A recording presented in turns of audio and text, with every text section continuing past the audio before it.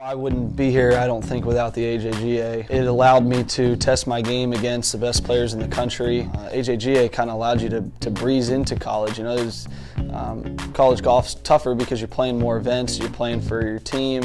Uh, the courses are harder, the competition's obviously more challenging. I'm really proud that, you know, two of my greatest friends and um, supporters in Under Armour and the University of Texas and UT Golf Club uh, have come together and helped create just a great platform for these junior golfers to have a tough but really tough but fair um, golf course. I'm very happy to kind of to come here and share what I can with the juniors and and be a part of it. But um, all that work that goes in by by y'all as well as um, the golf club, University of Texas, and, and Under Armour.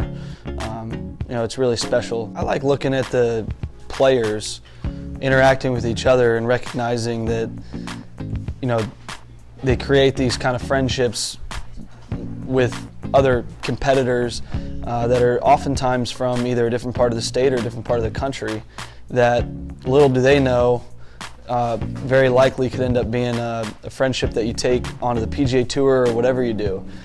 I, have said this now, I think the last couple years, but it's crazy this soon to feel like you know, I, I see the influence uh, at tournaments. You know, I hear it from junior golfers that are that are at the tournaments. But uh, it's a tremendous honor. But with it, be, you know, comes a responsibility. You got to do things the right way on and off the golf course, um, and you got to express that to them that there's a responsibility to be had.